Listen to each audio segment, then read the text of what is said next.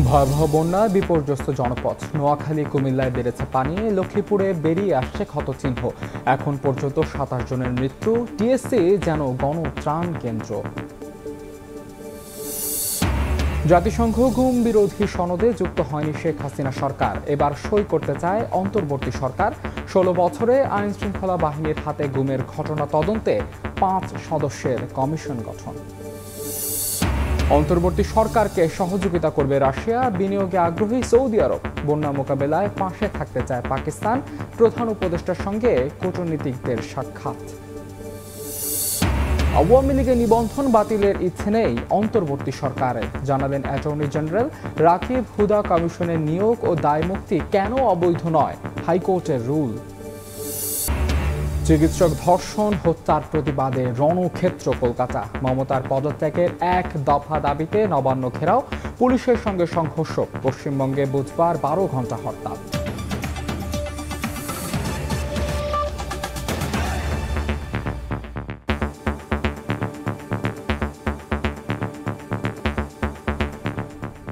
প্রবাসের সময়ের সঙ্গে আছে আমি মাহাদ ইসলাম ধ্রুব।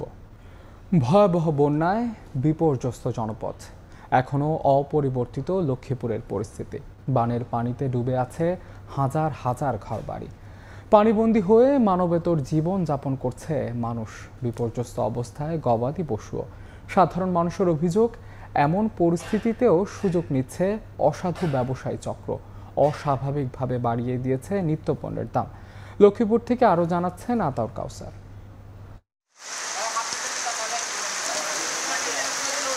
লক্ষ্মীপুর উপজেলার মান্দার ইউনিয়নের এক নম্বর ওয়ার্ডে এই মুহূর্তে আমরা আছি এবং গত এক সপ্তাহ ধরে এখানে পানি জমে আছে এমনটি জানিয়েছেন এলাকাবাসী এবং তারা বলছেন, নৌকা ছাড়া চলাচলের আর কোনো উপায় নেই। আর যার কারণে এই এক সপ্তাহ ধরে পানিবন্দী থাকার পরেও তারা কোনো ধরনের কোনো ত্রাণ পাননি, কোনো সাহায্য সহযোগিতা পাননি। চলাচলের কোনোই উপায় নেই এই নৌকা ছাড়া। যে পরিমাণে পানি এখনও পূর্ব দিক থেকে পশ্চিম দিকে আসছে, এটি যদি অব্যাহত থাকে, তাহলে হয়তো আর দু একদিন পরে তারা এই বাসায়ও থাকতে পারবেন না। এই আশঙ্কা নিয়েই দিন যাচ্ছে তাদের। সাথে রয়েছে প্রচণ্ড ক্ষুধা কারণ রান্না করার উপায় নেই পাচ্ছেন না কোনো ত্রাণ। এমত অবস্থায় সরকারের কাছে স্বেচ্ছাসেবী সংগঠন যারা আছে তাদের সকলের কাছে তারা আকুল আবেদন জানিয়েছেন যেন তাদের দিকে বিশেষভাবে নজর দেওয়া হয়। আশেপাশে কোনো নৌকা নাই যদি নৌকাতে উঠতে হয় তাহলে এভাবে ভিজে যাইতে হয়। ঘরের ভিতরে ভানি। তারপরে খাটের উপরে রাখছি বউ ফোলা ভাই নিয়ে এখন খুব কষ্টে। আমরা তিলে তিলে গড়াই দুই টাকা এক টাকা করে জমাই। এই ঘর দরজা করছি সান ভাঙি কি অবস্থা হয়ে গেছে? আজকে মনে হয় এক সপ্তাহ ধরে আমরা পানির নিচে ডুবা। এখানে চারপাশে পানি এমনভাবেই বিস্তৃত হয়েছে যে আসলে নৌকা ছাড়া আর চলাচলের কোনো উপায় নেই। সেক্ষেত্রে আশপাশের বাড়িগুলোর কি অবস্থা সেটি কিন্তু সহজেই বোঝা যায়। যে ঘরগুলো নিচু জায়গায় অবস্থিত, সেই অধিকাংশ ঘর পুরোপুরি পানির নিচে তলিয়ে গেছে। সাত দিন হয়ে গেলেও কোন রকমের ত্রাণ পায়নি এমনটি বলছেন বন্যায় দুর্গত যে সকল মানুষ আছেন তারা। এই সুযোগে কতিপয় ব্যবসায়ী জিনিসপত্রের দাম এমন এমনভাবে বাড়িয়েছে যে তারা আসলে শুকনা খাবার যে কিনে খাবেন সেই উপায়টিও নেই। পনেরোশো টাকার গ্যাস, এখন চব্বিশশো টাকা। এই বিপদের মধ্যে এইভাবে মানে দাম দস্তুর বাড়াই দিয়েছে মাল সামানার। গরিবেরা কীভাবে খাইব? মুড়ি ধরনা কালিয়া একশো দশ টাকা করে কিনছে মানুষে ইয়ারও সেনা তো বাজারে নাই মানে সব কিছুর দাম বাড়ে গেছে। তাদের এখন অপেক্ষা কখন নামবে পানি কখন ফিরতে পারবে ঘরে কখন ফিরতে পারবে স্বাভাবিক জীবনে। লক্ষ্মীপুর সদর উপজেলার মান্দার ইউনিয়ন থেকে আতাউর কাউসার সময় সংবাদ। ফেনীর সার্বিক বন্যা পরিস্থিতি কিছুটা উন্নতি হয়েছে। তবে এখনও পানিবন্দী জেলার প্রায় দশ লাখ মানুষ। চরম দুর্ভোগে বাসিন্দারা। সশস্ত্র বাহিনী, বিজিবি কোস্টগার্ড র্যাব, ছাত্র জনতার চেষ্টায় উদ্ধার এবং খাদ্য সহায়তা কার্যক্রম চলছে বলে জানিয়েছেন জেলা প্রশাসক।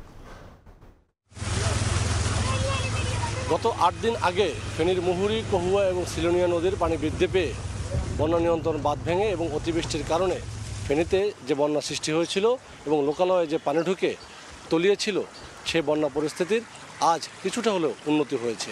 উন্নতটা এ কারণেই যে প্রধান প্রধান সড়ক তলিয়ে থাকার কারণে যোগাযোগ ব্যবস্থা যে পুরোপুরি ভঙ্গুর ছিল আজ সে পানি নেমে যাওয়ায় প্রধান সড়কগুলো থেকে কিছু কিছু জায়গায় পরিবহন চলতে শুরু করেছে। অনেকের ঘরের পানি কিছুটা কমলো পুরোপুরি কমেনি এবং উঠানে বা ঘরের মেঝেতে এখনও পানি রয়েছে। ঘর বাড়ি যা আছে সবকিছু পানি উঠে গেছে মানুষ এখন রান্না বাড়িও কোনো খাইছে না। লক্ষ লক্ষ টাকার মাছ মুরগির ফার্ম বাসি গেছে। অনেক পানি নাই বাতখানা শুধু মানুষের তানের উপর নির্ভর। বন্যা পরিস্থিতির কারণে দেশের বিভিন্ন স্থান থেকে বিপুল সংখ্যক ত্রাণ ফেনীতে আসছে। তবে সে সকল ত্রাণ সম্ভাবন্টন না হয় একটা অব্যবস্থাপনার কারণেই সবাই পাচ্ছেন না। কেউ কেউ একাধিকবার পেলেও অনেকে আবার মোটেই পাচ্ছেন না বলে অভিযোগ করছেন বনবাসী মানুষেরা। দূরবর্তী এলাকা যেগুলো হচ্ছে রাস্তা বা যেদিকে পানি বেশি ওদিকে মানুষ যেতে পারছে না ওরা ত্রাণও পাচ্ছে না। ওদের অবস্থা খুব বেগতিক হয়ে আছে।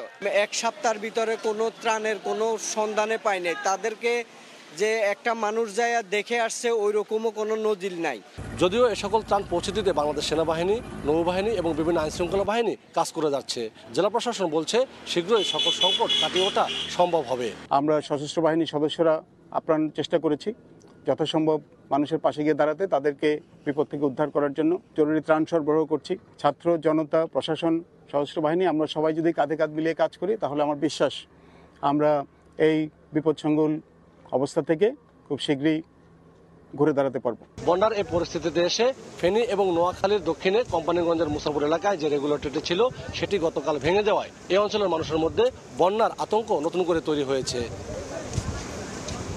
বিভিন্ন ত্রাণ সামগ্রীর মধ্যে পানিবাহিত রোগ প্রতিরোধের জন্য বিভিন্ন ধরনের ওষুধ এবং মেডিকেল টিম বেশি করে দরকার বলে মনে করছেন সংশ্লিষ্টরা। আতিয়া সজল সময় সংবাদ, ফেনী।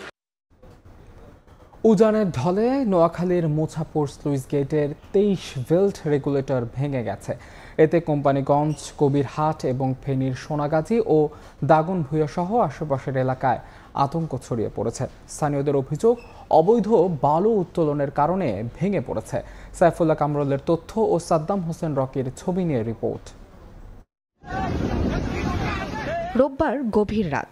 স্রোতের তোড়ে হঠাৎই ফাটল ধরে নোয়াখালীর কোম্পানিগঞ্জের মুছাপুর ইউনিয়নের তেইশ ভেন্ট রেগুলেটরে, যার এক পাশে রয়েছে ছোট ফেনী নদী আর অন্য পাশে সন্দ্বীপ চ্যানেল। সময় গড়ার সঙ্গে সঙ্গে মাঝ বরাবর দেবে গিয়ে সম্পূর্ণ বিধ্বস্ত হয় রেগুলেটরটি।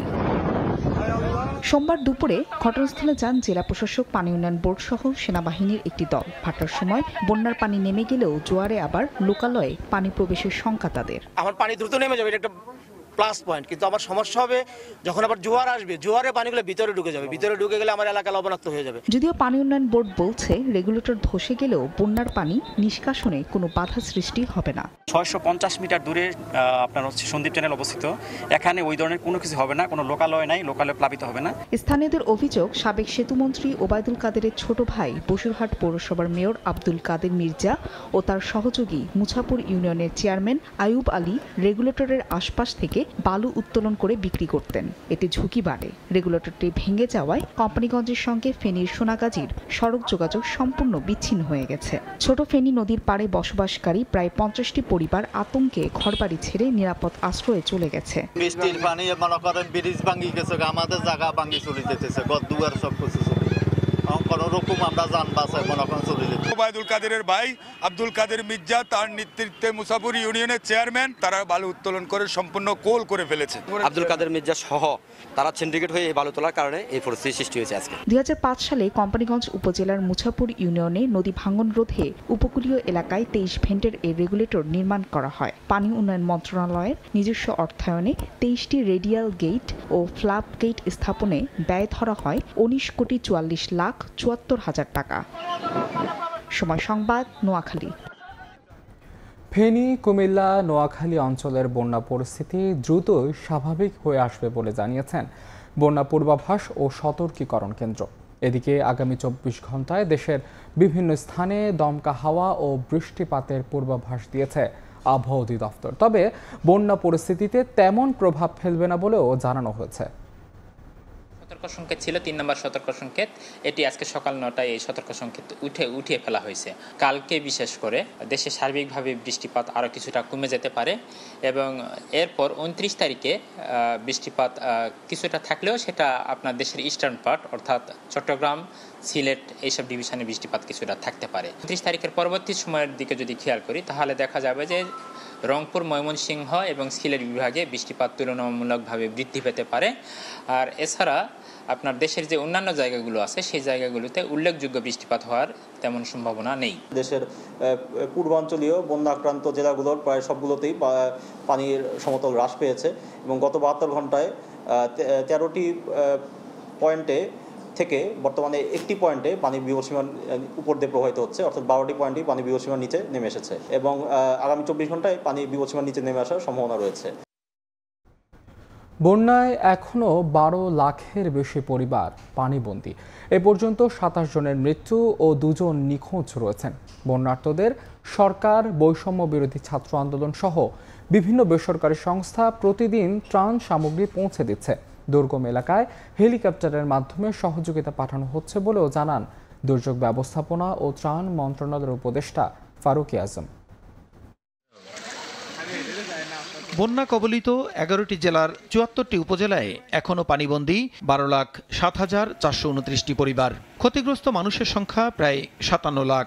সরকারি, বেসরকারি বিভিন্ন সংস্থা ও বৈষম্য বিরোধী ছাত্র আন্দোলনের পক্ষ থেকে বিপুল পরিমাণ ত্রাণ সামগ্রী ও নগদ অর্থ বিতরণ করা হলেও প্রত্যন্ত ও দুর্গম এলাকায় ত্রাণ না পাওয়ার পাশাপাশি বিতরণে সমন্বয়হীনতার অভিযোগ রয়েছে।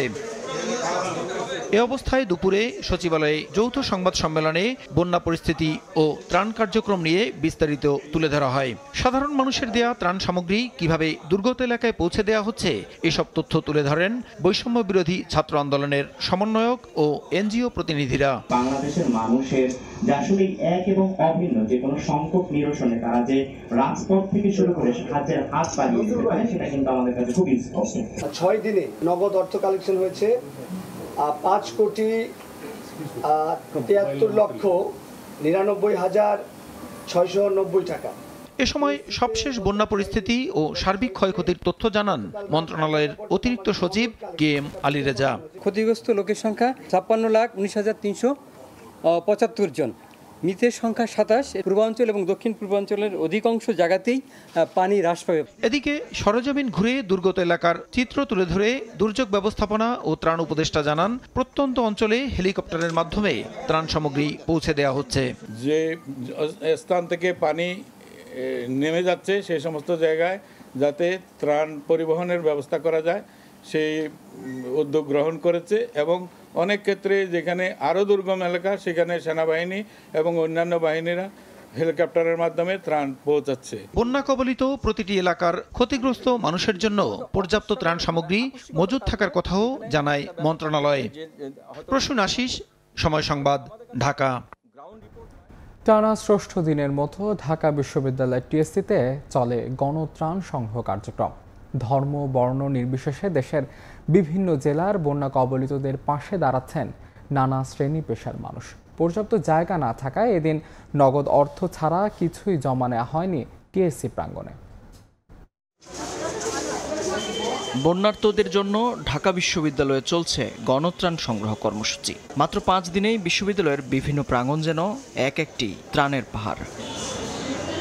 এখন পর্যন্ত মোট ছয় কোটি সাতাত্তর লাখ টাকা সংগ্রহের পাশাপাশি জমা পড়েছে বিপুল পরিমাণ শুকনো খাবার পানি শিশু খাদ্য কাপড় ঔষধ সহ বিভিন্ন পণ্য। এসব ত্রাণ সামগ্রী পৌঁছেও যাচ্ছে নির্দিষ্ট গন্তব্যে। বৈষম্যহীন বাংলাদেশের আরও এক দৃষ্টান্ত ঢাকা বিশ্ববিদ্যালয়। যেসব জায়গায় আমাদের আওতার ভিতরে আছে সে জায়গাগুলো সেনাবাহিনী এবং আমাদের টিম রেস্কিউ টিমে কাজ করে এই সাপোর্টটা দিচ্ছে। যারা পানিবন্দী আছে তারা কি অনেক কষ্ট আছে?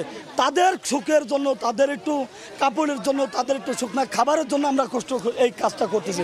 অল্প কিছু টাকা জমলে এখানেই দেন ট্রাকে করে পিকনিক করার কোনো মানে হয় না এখানে কাজ করেন কোনোভাবে কাজ করলেই হয়। ওই এলাকার প্রশাসন হোক যে মানুষগুলো ডিস্ট্রিবিউট করছে তারা হোক তাদের প্রতি বিনীত নিবেদন এই দুর্যোগকালীন সময় দয়া করে নীতি নৈতিকতা হারাবেন না ব্যক্তিত্ববোধ হারাবেন না।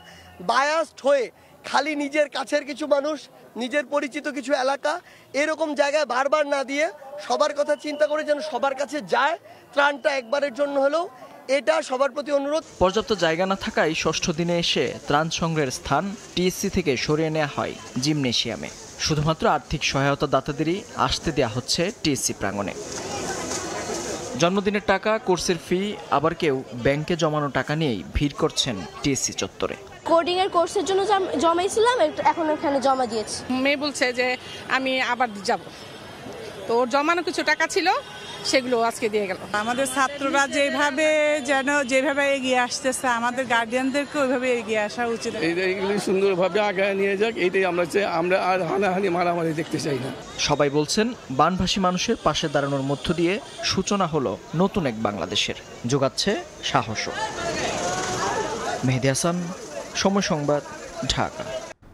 আন্তর্জাতিক আহ্বানের পরও গত ষোলো বছরে জাতিসংঘ গুম প্রতিরোধ সনদে যুক্ত হয়নি শেখ হাসিনা সরকার। তবে সনদে যুক্ত হওয়ার পদক্ষেপ নিয়েছে অন্তর্বর্তী সরকার। তিরিশ আগস্ট আন্তর্জাতিক গুম বিরোধী দিবসের আগেই যুক্ত হতে চায় বাংলাদেশ। এদিকে গত ষোলো বছরে আইন শৃঙ্খলা রক্ষাকারী বাহিনীর হাতে গুমের ঘটনা তদন্তে কমিশন গঠন করেছে নতুন সরকার। রাষ্ট্রীয় সংস্থা ব্যবহার করে রাজনৈতিক প্রতিপক্ষ কিংবা সমালোচকদের গুম ও অপহরণের পাহাড় সম অভিযোগ পাঁচ আগস্ট ছাত্র জনতার গণ অভ্যুত্থানে পতিত শেখ হাসিনা সরকারের বিরুদ্ধে মানবাধিকার লঙ্ঘনের অভিযোগে র্যাবের বিরুদ্ধে নিষেধাজ্ঞাও আরোপ করে যুক্তরাষ্ট্র। গত ষোলো বছরে র্যাব, পুলিশ সহ আইন শৃঙ্খলা বাহিনীর হাতে কত গুমের ঘটনা ঘটেছে তা তদন্তে অবসরপ্রাপ্ত বিচারপতি মইনুল ইসলাম চৌধুরীর নেতৃত্বে মঙ্গলবার একটি কমিশন গঠন করেছে সরকার। পাঁচ সদস্যের এই কমিশনকে পঁয়তাল্লিশ কার্যদিবসের মধ্যে প্রতিবেদন জমা দিতে হবে। গুম প্রতিরোধে জাতিসংঘের একটি সনদ থাকলেও গত ষোলো বছরে আওয়ামী লীগ সরকার তাতে স্বাক্ষর করেনি। জাতিসংঘের বাধ্যতামূলক নয়টি সনদের মধ্যে আটটিতেই সই করলেও আন্তর্জাতিক চাপ থাকা সত্ত্বেও গুম প্রতিরোধ বিষয়ক কনভেনশনটি বারবার এড়িয়ে যায় শেখ হাসিনা সরকার। অন্তর্বর্তীকালীন সরকার দায়িত্ব নেওয়ার পর থেকেই মানবাধিকার ইস্যুতে গুরুত্ব দেওয়ার কথা জানাচ্ছে। এবারে গুমবিরোধী আন্তর্জাতিক সনদে যুক্ত হতে যাচ্ছে বাংলাদেশ। পঁচিশ আগস্ট জাতির উদ্দেশ্যে ভাষণে বিষয়টি নিশ্চিত করেন অন্তর্বর্তীকালীন সরকারের প্রধান উপদেষ্টা doctor Mohammad Yunus.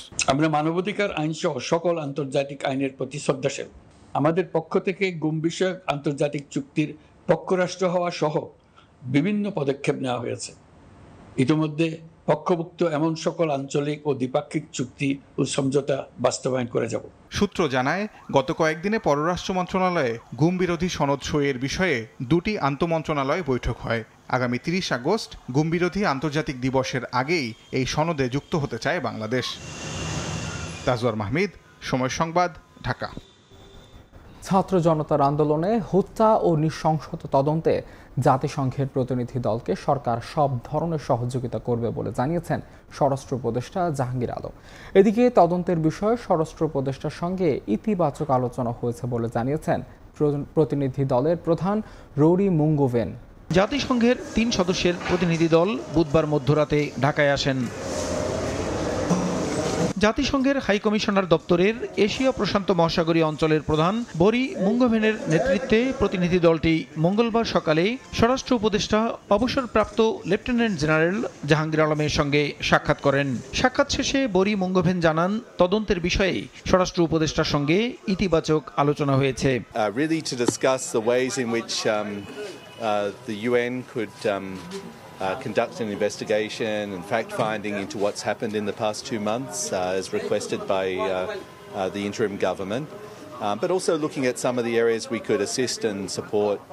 Uh, the interim government and people of Bangladesh uh, going forward. So. এ বিষয়ে স্বরাষ্ট্র উপদেষ্টা বলেন তদন্ত কাজে জাতিসংঘ প্রতিনিধি দলকে সব ধরনের সহযোগিতা করবে সরকার জাতিসংঘ মিশনে বাংলাদেশ থেকে বিভিন্ন বাহিনীর আরও সদস্য নেয়ার প্রস্তাব দেওয়ার কথাও জানান স্বরাষ্ট্র উপদেষ্টা আমরা তাদের অ্যাসিওর করছি যে কোনো ব্যাপারে যে কোনো ধরনের সাহায্য সহযোগিতা দরকার আমরা তাদের সাহায্য সহযোগিতা করব ইউএন মিশনে বেশি করে পুলিশ আর্মি এবং অন্যান্য বাহিনীর সদস্যরা যেতে পারে, তাদের কাছে আমরা রিকোয়েস্ট করছি। এর আগে সকালে ঢাকাস্থ চীনা রাষ্ট্রদূত ইয়াও ওয়েন স্বরাষ্ট্র উপদেষ্টার সঙ্গে সাক্ষাৎ করেন। উপদেষ্টা বন্যা দুর্গত এলাকায় কৃষি খাতের উন্নয়নে চীন সরকারকে সহযোগিতা করার অনুরোধ জানান। এছাড়া বাংলাদেশে কর্মরত চীনা কর্মীদের নিরাপত্তা নিশ্চিত করা হবে বলেও রাষ্ট্রদূতকে জানান তিনি। প্রসূন আশিস সময় সংবাদ, ঢাকা। অন্তর্বর্তী সরকারকে আন্তর্জাতিক মঞ্চে সব সহায়তা দেয়া হবে বলে জানালো রাশিয়া। এছাড়া বাংলাদেশের বন্যায় উদ্বিগ্ন দাবি করে যে কোনো সহায়তার জন্য প্রস্তুত রয়েছে বলে জানিয়েছে পাকিস্তান। এদিকে সৌদি আরবও বাংলাদেশে বড় পরিসরে বিনিয়োগ করতে আগ্রহী বলে প্রধান উপদেষ্টাকে জানিয়েছেন দেশটির রাষ্ট্রদূত। মঙ্গলবার রাষ্ট্রীয় অতিথি ভবন যমুনায় প্রধান উপদেষ্টা ডক্টর মোহাম্মদ ইউনুসের সঙ্গে সৌজন্য সাক্ষাৎ করেন রাশিয়া, পাকিস্তান এবং সৌদি আরবের কূটনীতিকরা। সরকার গঠনের পর এখন একে একে বিভিন্ন দেশের কূটনীতিকরা আলাদা করে দেখা করছেন অন্তর্বর্তী সরকারের প্রধান উপদেষ্টার সঙ্গে।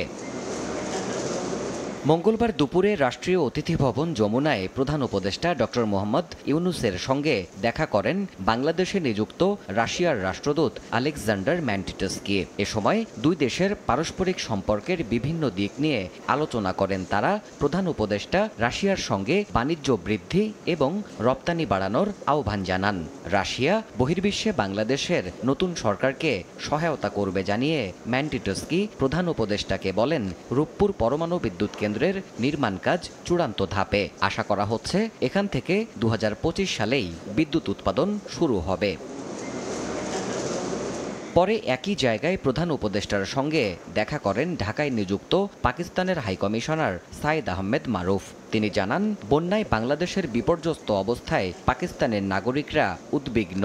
যে কোনো সহায়তায় ইসলামাবাদ প্রস্তুত বলেও প্রধান উপদেষ্টাকে জানান হাইকমিশনার। এছাড়া ভিসা সহজীকরণ এবং দুই দেশের সরাসরি ফ্লাইট চালুর উদ্যোগ নেয়ার অনুরোধও জানায় পাকিস্তান। ডক্টর মোহাম্মদ ইউনুস সৌজন্য সাক্ষাতে সার্ককে পুনরুজ্জীবিত করে সবার স্বার্থে ইউরোপীয় ইউনিয়নের মডেল দাঁড় করানোর ধারণা তুলে ধরেন। সবশেষ প্রধান উপদেষ্টার সঙ্গে দেখা করেন ঢাকায় নিযুক্ত সৌদি আরবের রাষ্ট্রদূত ইসা ইউসেফ ইসা আল দুহাইলান সৌদিকে বাংলাদেশের গুরুত্বপূর্ণ অংশীদার উল্লেখ করে ডক্টর ইউনুস দেশটিতে বসবাস করা অনিবন্ধিত ঊনসত্তর হাজার বাংলাদেশের পাসপোর্ট নবায়নের ইস্যু নিয়ে আলোচনা করেন। বাংলাদেশের লজিস্টিক্স, সেবা খাত এবং নবায়নযোগ্য জ্বালানি খাতে সৌদি আরব বিনিয়োগে আগ্রহী বলে প্রধান উপদেষ্টাকে জানান দেশটির রাষ্ট্রদূত। দেবাশিস রায়, সময় সংবাদ, ঢাকা। এখন থেকে আর নির্বাহী আদেশে নয়, গণশুনানির ভিত্তিতে নির্ধারিত হবে গ্যাস বিদ্যুতের দাম। মঙ্গলবার সন্ধ্যায় জারি করা হয় এ সংক্রান্ত অধ্যাদেশ। রাষ্ট্রপতির জারি করা এই অধ্যাদেশে Bangladesh energy regulatory commission BERC আইনের চৌত্রিশ ক ধারা বিলুপ্ত করা হয়, যার ফলে এখন থেকে আর নির্বাহী আদেশে গ্যাস বিদ্যুতের দাম সমন্বয় করতে পারবে না সরকার। আগের মতোই গণশুনানির ভিত্তিতে দাম ঠিক করবে Bangladesh energy regulatory commission BERC দুই হাজার বাইশ সালের ডিসেম্বরে আওয়ামী লীগের আমলে বিশেষ পরিস্থিতিতে নির্বাহী আদেশে সরকারকে গ্যাস বিদ্যুতের দাম সমন্বয়ের ক্ষমতা দিয়ে অধ্যাদেশ জারি করা হয়েছিল। এর আগে এককভাবে এ এখতিয়ার ছিল বিইআরসির। মঙ্গলবার জারি করা অধ্যাদেশের ফলে এখন থেকে গণশুনানির ভিত্তিতে গ্যাস বিদ্যুতের দাম নির্ধারণের একক ক্ষমতা আবারও ফিরে পেল বিইআরসি। রাকিব হুদার কমিশনের নিয়োগ ও দায় মুক্তি কেন অবৈধ হবে না জানতে চেয়ে রুল জারি করেছেন হাইকোর্ট। চার সপ্তাহের মধ্যে এই রুলের জবাব দিতে বলা হয়েছে। রিচকারী আইনজীবী বলেছেন, দুই হাজার চৌদ্দ ও দুই হাজার আঠারো সালের বিতর্কিত নির্বাচন। এদিকে অ্যাটর্নি জেনারেলের জানিয়েছেন, দল হিসেবে আওয়ামী লীগের নিবন্ধন বাতিলের কোনো ইচ্ছে নেই অন্তর্বর্তী সরকারের। নির্বাচন অনুষ্ঠানের জন্য রিটার্নিং অফিসার সহকারী দু হাজার চোদ্দ সালের জাতীয় নির্বাচনের দুই বছর আগে প্রধান নির্বাচন কমিশনার হিসেবে নিয়োগ দেওয়া হয় কাজী রকিবউদ্দিন আহমেদকে। সেই কমিশনের অধীনেই অনুষ্ঠিত হয় একতরফা দশম সংসদ নির্বাচন। রকিবের মেয়াদ শেষের পর দায়িত্বে আসেন কে এম নুরুল হুদা। দুহাজার সতেরো সালে নিয়োগ পান তিনি। তাদের অধীনে অনুষ্ঠিত হয় দুহাজার আঠারো সালের আরেকটি বিতর্কিত নির্বাচন। রকিব ও হুদা কমিশনের দুটি নির্বাচনই দেশে বিদেশে ব্যাপক সমালোচনার জন্ম দেয়। দু হাজার বাইশ সালে এসে এই দুই কমিশনকে দায়মুক্তি দেয় আওয়ামী লীগ। মঙ্গলবার দায়মুক্তির বিধান চ্যালেঞ্জ করে করা রিটের শুনানি হয়। শুনানি শেষে তাদের নিয়োগ ও দায়মুক্তি কেন অবৈধ হবে না জানতে চেয়ে রুল জারি করেন হাইকোর্ট। রিটকারীদের আইনজীবী বলছেন, চূড়ান্ত শুনানিতে তাদের নিয়োগ অবৈধ হলে প্রশ্ন উঠবে তাদের অধীনে হওয়া চোদ্দ, আঠারো নির্বাচন নিয়েও। কারও অফিসে বসারই বৈধতা না থাকে, অ্যাপয়েন্টমেন্ট প্রক্রিয়াটাই বৈধ না হয়ে যায়, তাহলে কি করে একজন মানুষের কৃতকর্ম বৈধ হবে? তার অংশ হিসেবে দুই সালে নির্বাচন হয়েছে দু হাজার আঠারো সালে নির্বাচন হয়েছে। আপনারা সবাই তার সাক্ষী। দুনিয়া জুড়ে দুই সালে নির্বাচন, দুই সালে নির্বাচন নিয়ে প্রশ্ন উত্থাপিত হয়েছে। এদিকে আওয়ামী লীগের নিবন্ধন বাতিল চেয়ে করা রিটের শুনানিতে রাষ্ট্রের প্রধান আইন কর্মকর্তা হাইকোর্টকে বলেছেন, আওয়ামী লীগের নিবন্ধন বাতিলের কোনো ইচ্ছে নেই বর্তমান সরকারের। একই সঙ্গে ব্যক্তির অপরাধের দায় সংগঠনের উপর দেয়ার পক্ষে নন তিনি। বাংলাদেশ আওয়ামী লীগের গুটি কয়েক নেতা কর্মীরা এমনভাবে অপরাধে জড়িয়ে পড়েছিলেন। কর্তৃত্ববাদী সরকার এমনভাবে অপরাধে জড়িয়ে পড়েছিলেন? এ ব্যাপারে কারোর কোনো দ্বিমত আপাতত দেখি না। তাদের অপরাধের বিচার যেভাবে রাষ্ট্র, রাষ্ট্রীয় আইন আছে সেভাবে করবেন।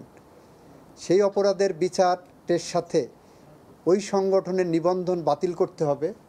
এটাই সরকার মনে করে না এবং সংবিধান সমর্থন করে না। অন্তর্বর্তী সরকার কতদিন ক্ষমতায় থাকবে সেটি আদালত নির্ধারণ করে দিতে পারে না বলেও মন্তব্য করেন অ্যাটর্নি জেনারেল। আমাদের আফজাল হোসেন সময় সংবাদ ঢাকা।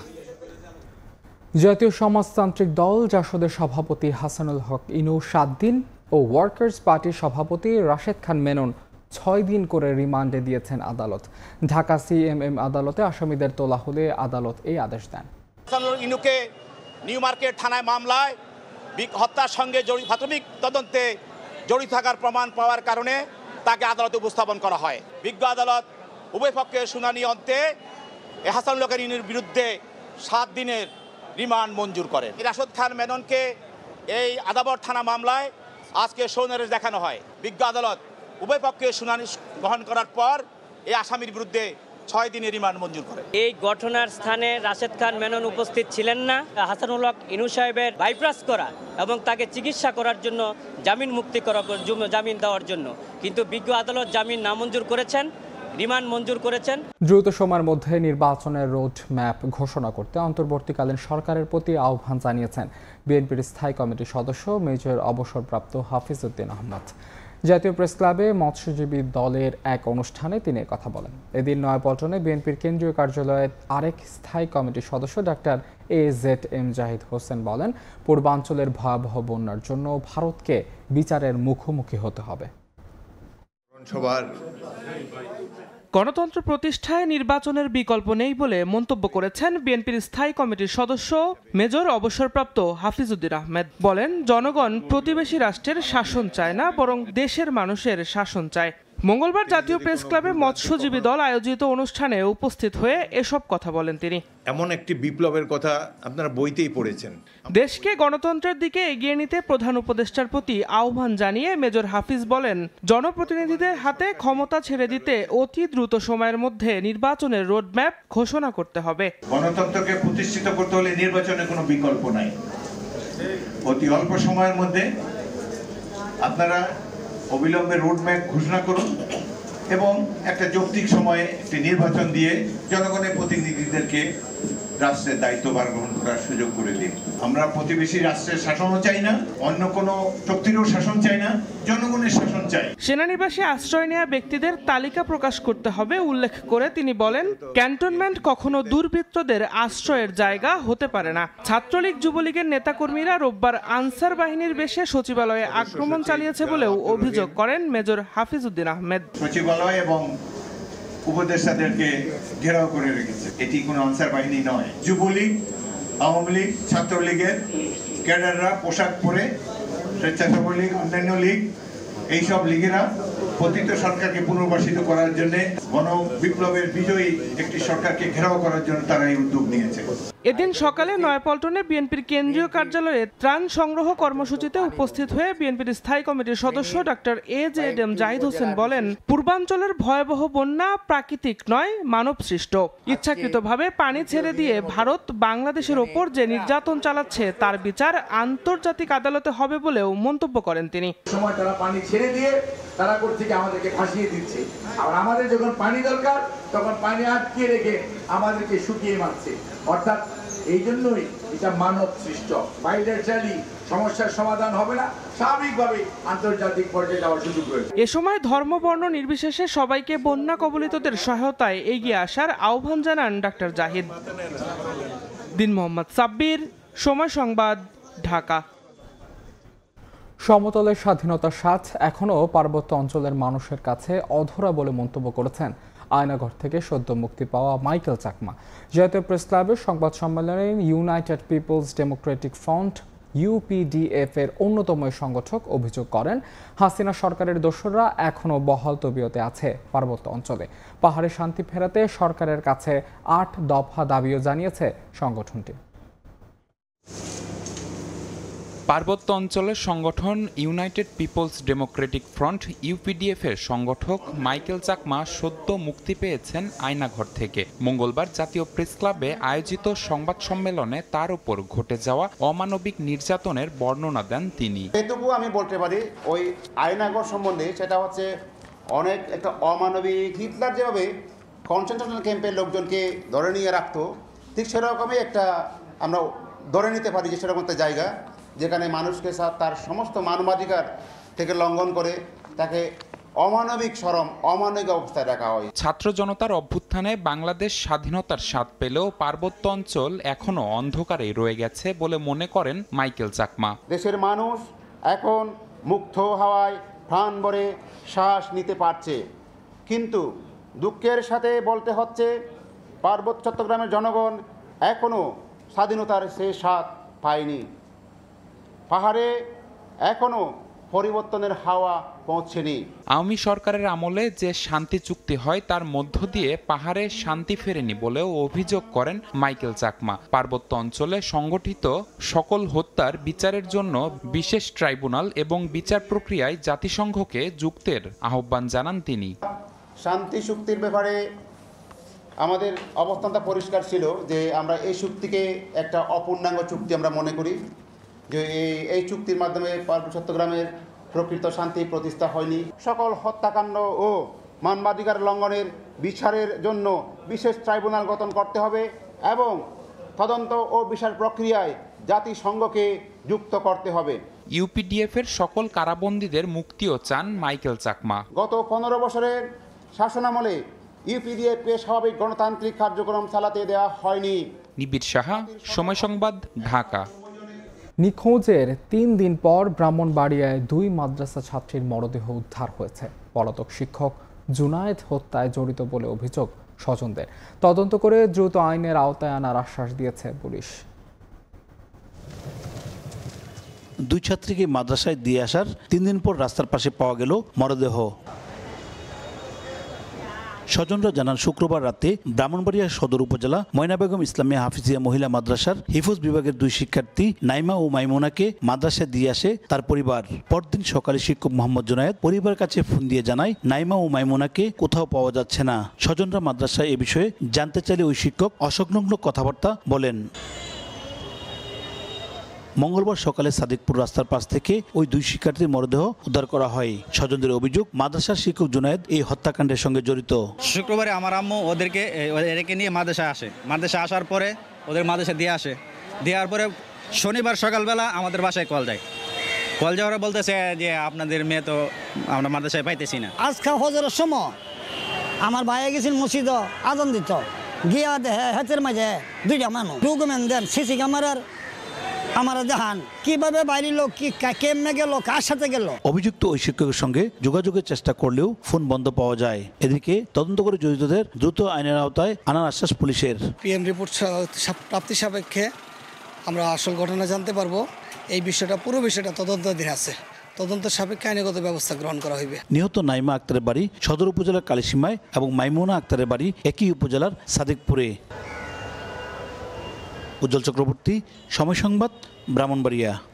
বন্যা পরিস্থিতির কারণে পাঁচ দিন বন্ধ থাকার পর কক্সবাজার ঢাকা ট্রেন চলাচল শুরু হয়েছে। মঙ্গলবার রাত আটটায় কক্সবাজার থেকে ঢাকার উদ্দেশ্যে পর্যটক এক্সপ্রেস ট্রেনটি ছেড়ে যায়। এদিকে বৃহস্পতিবার থেকে কক্সবাজার ঢাকা দুটি ট্রেন ও কক্সবাজার চট্টগ্রাম স্পেশাল ট্রেন নিয়মিত চলবে বলে জানিয়েছেন স্টেশন মাস্টার। ভয়াবহ বন্যার কারণে পাঁচ দিন বন্ধ থাকার পর আবারও কক্সবাজার ঢাকা রুটে ট্রেন চলাচল শুরু হয়েছে। মঙ্গলবার রাত আটটায় কক্সবাজার স্টেশন থেকে ঢাকার উদ্দেশ্যে পর্যটক এক্সপ্রেস ট্রেনটি ছেড়ে যাবে, তাই আগেভাগেই যাত্রীরা হাজির আইকনিক স্টেশনে। পর্যটক এক্সপ্রেসে যাত্রীর ধারণ ক্ষমতা এক হাজারের বেশি। কিন্তু পাঁচ দিন পর ট্রেন চলাচল শুরু হওয়ায় যাত্রীর চাপ কিছুটা কম। যাত্রীরা বলছেন বন্যার কারণে যানবাহন ও ট্রেন চলাচল বন্ধ থাকায় বিপাকে পড়েছিলেন তারা। ট্রেন চালু হওয়ায় স্ব গন্তব্যে ফিরতে পারায় খুশি যাত্রীরা। সেনাবাহিনী পুরো দায়িত্বটা পালন করতেছে আমরা আসলে নিরাপদ এখন। রেল বাস সবই বন্ধ থাকে। আমরা আজকে প্রায় ছয় দিন পরে ঢাকা ফিরতেছি। আমরা এক সপ্তাহ পরে আবার আজকে ঢাকাতে যাত্রা করতেছি পর্যটক এক্সপ্রেসে। অবশ্যই ট্রেন যাত্রা স্বস্তির এবং আরামদায়ক। মঙ্গলবার পর্যটক এক্সপ্রেস ট্রেন চালু হলেও যাত্রা করছে না অপর ট্রেন কক্সবাজার এক্সপ্রেস। তবে বৃহস্পতিবার থেকে ঢাকা কক্সবাজার দুটি ট্রেন এবং কক্সবাজার চট্টগ্রাম স্পেশাল ট্রেন চলাচল শুরু হবে বলে জানিয়েছেন স্টেশন মাস্টার। ঢাকা কক্সবাজার ঢাকা যে দুটো আন্তনগর ট্রেন আছে এই দুটো ট্রেন নিয়মিতভাবে চলাচল করবে এবং কক্সবাজার স্পেশাল ট্রেনটি চট্টগ্রাম পর্যন্ত যথানিয়মে প্রতিদিনই চলাচল করবে। এর আগে গত বাইশ আগস্ট বন্যার কারণে ঢাকা কক্সবাজারের সঙ্গে রেল যোগাযোগ বন্ধ ছিল। সময় সংবাদ কক্সবাজার। বিহার ও ঝাড়খণ্ডে অতিবৃষ্টির কারণে ভারতের পশ্চিমবঙ্গে ফারাক্কা বাঁধের একশো নয়টি গেট খুলে দেওয়ায় পদ্মা নদীতে পানি বাড়ছে। তবে এখনও তা বিপদসীমার নিচে রয়েছে। এতে রাজশাহী চাঁপাই নবাবগঞ্জ পাবনা সিরাজগঞ্জ কুষ্টিয়া সহ নদী তীরবর্তী বিভিন্ন জেলার নিম্নাঞ্চলে প্লাবনের আশঙ্কা করছেন নদী তীরের বাসিন্দারা। হাবিবুর রহমান, পাপ্পুর তোলা ছবিতে বিস্তারিত সাইফুর রহমান রকেট প্রতিবেদন। প্রতি বছরই বর্ষা মৌসুমে ফারাক্কার বাঁধ খুলে দেয়া হয়। ভারতের বিহার ও ঝাড়খণ্ডে অতিবৃষ্টির কারণে এবারও খুলে দেয়া হয়েছে ফারাক্কা ব্যারেজের একশো নয়টি গেট। এতে হুহু করে বাড়ছে পদ্মা নদীর পানি।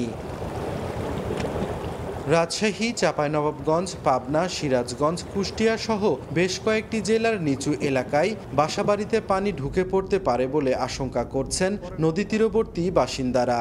তবে মঙ্গলবার পর্যন্ত এসব জেলাগুলোতে পদ্মা নদীর পানি বিপদসীমার এক থেকে দুই মিটার নিচ দিয়ে প্রবাহিত হচ্ছে।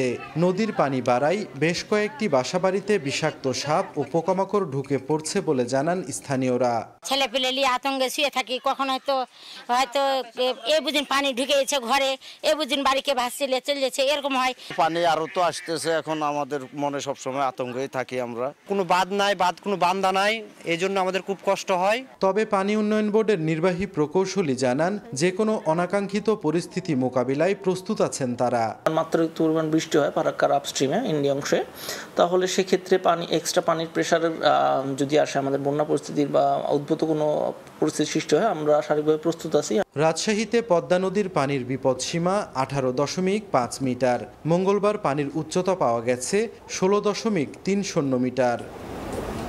সাইফুর রহমান রকি সময় সংবাদ রাজশাহী।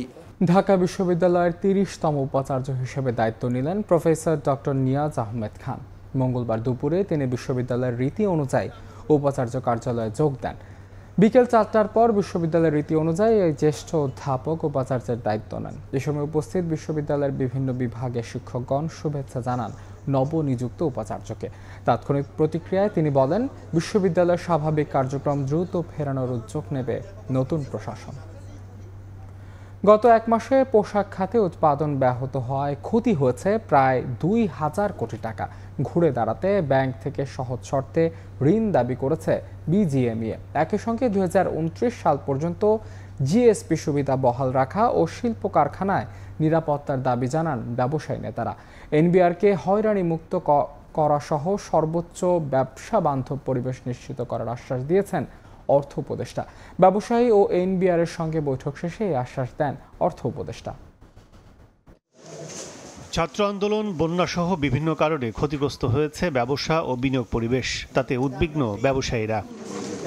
মঙ্গলবার আগারগাঁওয়ে পরিকল্পনা মন্ত্রণালয়ের অর্থ উপদেষ্টা কার্যালয়ে একের পর এক বৈঠক করেন বিভিন্ন খাতের ব্যবসায়ী নেতারা। বৈঠক শেষে বিজিএমইএ নেতারা সাংবাদিকদের জানান সাম্প্রতিক ঘটনায় তৈরি পোশাক খাতে ক্ষতি হয়েছে প্রায় দু হাজার কোটি টাকা। এনবিআর এলসি সহ নানা ইস্যুতে কথা হয়েছে বলেও জানান তারা। এখন এলসি করতে গেলে ওই মার্জিন চাওয়া হচ্ছে এইগুলো আমরা তুলে ধরেছি এবং এই ব্যাপারে উনি বাংলাদেশ ব্যাংকের গভর্নরের সাথে কথা বলে বা অর্থ অর্থ সচিবের সাথে কথা বলে এইগুলি ব্যবস্থা নেবেন। চাঁদাবাজি হচ্ছে সেই চাঁদাবাজিগুলো আমরা কনসার্ন এনেছি। উনি এইগুলো ব্যাপারেও আমরা ইম্প্রুভ করার চেষ্টা করছে। ক্ষতি পুষিয়ে নিতে তারা চান সহজ শর্তের ব্যাংক ঋণ। প্রায় পনেরো ষোলো সতেরো দিনের মতো প্রোডাকশন বন্ধ ছিল যার ফলে ফ্যাক্টরিগুলি তাদের ডকুমেন্ট হয়তো অন টাইম ব্যাংকে দিতে পারবে না। ফ্লাডের কারণে আমাদের চার পাঁচ দিন অনেক এক্সপোর্ট যেতে পারে না এই সমস্ত কারণ মিলেই আমরা একটা সহযোগিতা চেয়েছি।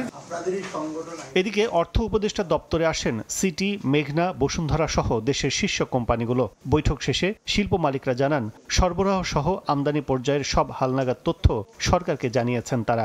আমরা মাননীয় উপদেষ্টা মহোদয়কে আমাদের বর্তমান যে পরিস্থিতি আছে আমাদের কোন কোন আইটেম এসেন্সিয়াল আইটেম তেল চিনি ডাল নুন গম এগুলোর বর্তমান পরিস্থিতি ওনাকে অবহিত করছি। ব্যবসায়ীদের সঙ্গে বৈঠক শেষে অর্থ উপদেষ্টা জানান আর্থিক খাত ও ব্যবসায়িক পরিবেশ ঠিক রাখতে কাজ করছে অন্তর্বর্তী সরকার।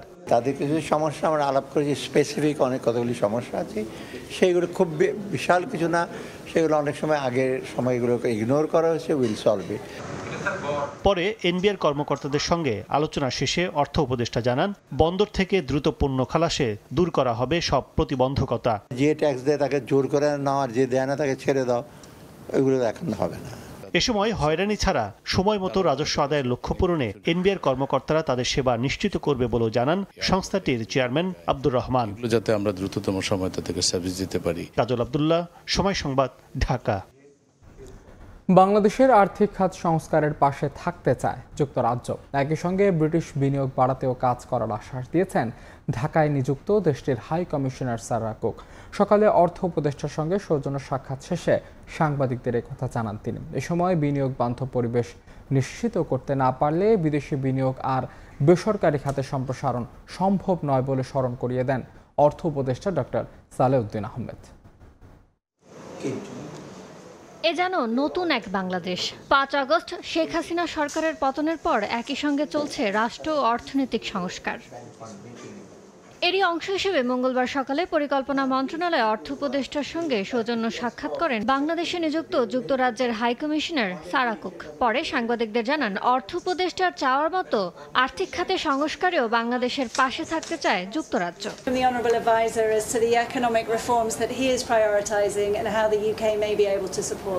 বাংলাদেশে বিনিয়োগ বাড়াতেও যুক্তরাজ্যের ব্যবসায়ীদের আগ্রহী করতে কাজ করছেন তারা The UK is a very strong partner with Bangladesh. We have a, a, a very strong trade and investment environment. Of course, we'd like to see more foreign direct investment from the UK into Bangladesh. বিদেশি বিনিয়োগ ও বেসরকারি খাতের সম্প্রসারণকে অগ্রাধিকার দিয়ে অন্তর্বর্তী সরকার আর্থিক খাতের সংস্কারের উদ্যোগ নিয়েছে বলে জানান অর্থ উপদেষ্টা।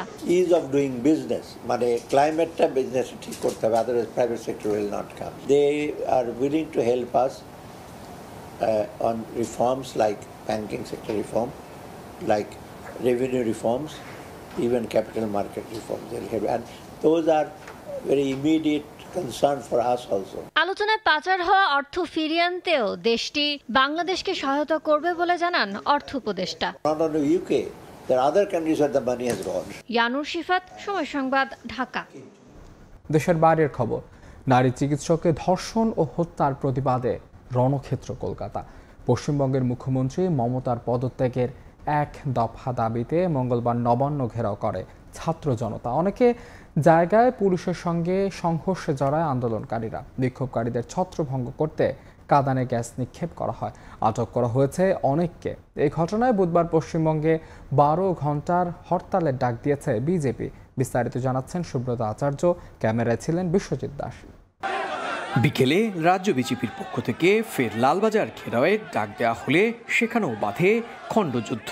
পুলিশি নির্যাতনের অভিযোগে বুধবার বারো ঘণ্টার পশ্চিমবঙ্গে হরতালের ডাক দিয়েছে বিজেপি। রাজ্যের শাসক তৃণমূল কংগ্রেসের দাবি, নবান্ন ঘেরাও কার্যত বিফল হতে এবার হরতালের ডাক দিয়েছে গেরুয়া শিবির। এদিকে আগামী তিন সেপ্টেম্বর রাজ্য জুড়ে বিক্ষোভ ও প্রতিবাদ কর্মসূচি ঘোষণা করেছে বাম কংগ্রেস। যদিও মঙ্গলবারের কর্মসূচিতে তাদের সমর্থন ছিল না। ছাত্র সমাজের এই আন্দোলন কার্যত চাপের মুখে ফেলল পশ্চিমবঙ্গের শাসক দল তৃণমূল কংগ্রেসকে। যদিও অরাজনৈতিক এই আন্দোলনকে তৃণমূল কংগ্রেস বলছে রাজনৈতিক, কারণ এর পেছনে সরাসরি সমর্থন দিয়েছে বিজেপি।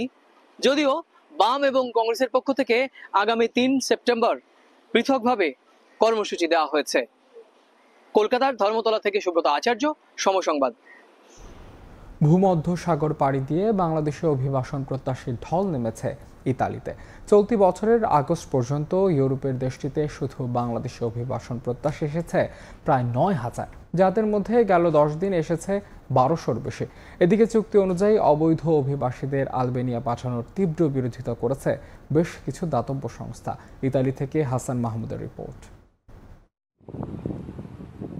লিবিয়া, তিউনিশিয়া থেকে ভূমধ্যসাগর পাড়ি দিয়ে অবৈধ পথে প্রতি বছর ইতালিতে প্রবেশ করেন হাজার হাজার অভিবাসন প্রত্যাশী। এসব অনুপ্রবেশকারীদের মধ্যে উল্লেখযোগ্য সংখ্যক বাংলাদেশি নাগরিক। সম্প্রতি ভূমধ্যসাগর পাড়ি দিয়ে ইতালি প্রবেশকারী বাংলাদেশির সংখ্যা আবারও বেড়ে গেছে। ভূমধ্যসাগর থেকে অভিবাসন প্রত্যাশীদের উদ্ধার কাজে নিয়োজিত সংস্থাগুলোকে নানা বিধিনিষেধের আওতায় এনেও থামানো যাচ্ছে না অনুপ্রবেশ। আর তাই অবৈধভাবে প্রবেশকারীদের আলবেনিয়া পাঠাতে সম্প্রতি দেশটির সঙ্গে একটি চুক্তি স্বাক্ষর করেছে ইতালি সরকার। তবে এমন সিদ্ধান্তের বিরোধিতা করেছে বিভিন্ন এনজিও। তাদের অভিযোগ, আলবেনিয়ার আশ্রয়কেন্দ্র হিটলারের বন্দি শিবিরের আদলে তৈরি করা হয়েছে।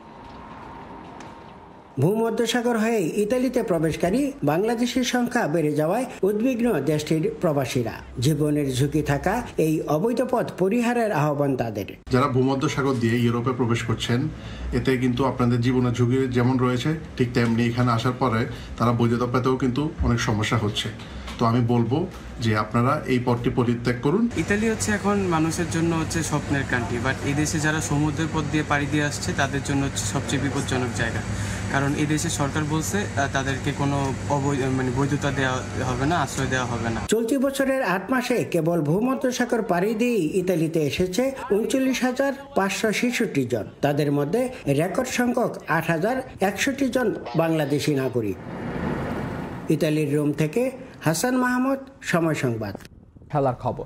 সাকিব আল হাসানের বিরুদ্ধে মামলা ইস্যুতে তোলপাড় দেশের ক্রীড়াঙ্গন। তার বিরুদ্ধে লিগ্যাল নোটিশ পেয়ে সাকিবকে আইনি সহায়তার আশ্বাস দিয়েছেন বিসিবি সভাপতি। শোনা যাচ্ছে, পাকিস্তানের বিপক্ষে সিরিজের দ্বিতীয় টেস্টেও এই অলরাউন্ডারকে খেলানোর ব্যাপারে ইতিবাচক বোধ।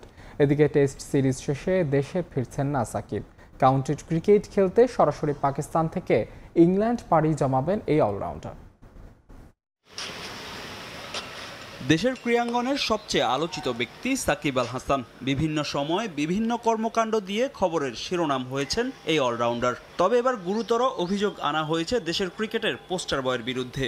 আওয়ামী লীগের সাবেক সংসদ সদস্য সাকিবের বিরুদ্ধে হয়েছে হত্যা মামলা। এই মামলা মাথায় নিয়ে রাওয়ালপিন্ডি টেস্ট খেলেছেন সাকিব। হত্যা মামলার আসামি হওয়ায় তার দ্বিতীয় টেস্ট খেলা নিয়ে তৈরি হয় অনিশ্চয়তা। এই ইস্যুতে পুরো ক্রিকেট বিশ্বে তোলপাড় শুরু হলেও সাকিবের বিরুদ্ধে এখনই কোনো অ্যাকশনে যাচ্ছে না বিসিবি।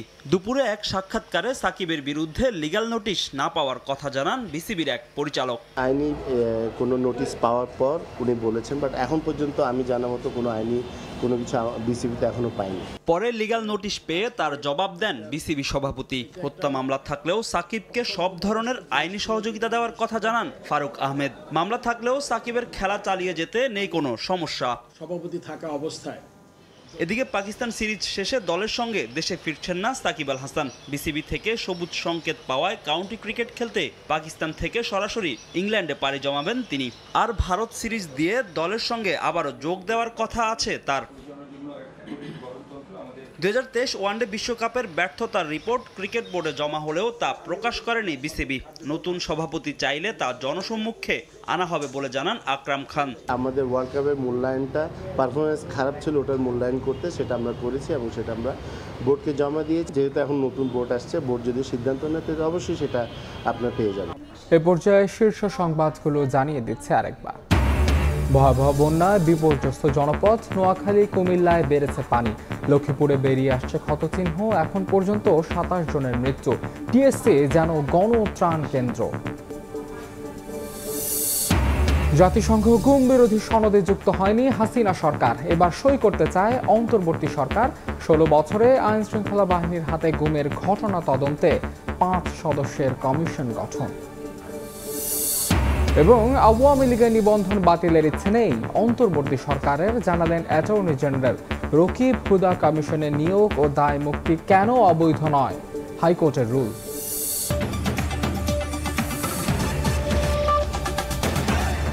এই ছিল প্রবাসের সময়। সঙ্গে থাকুন সময়।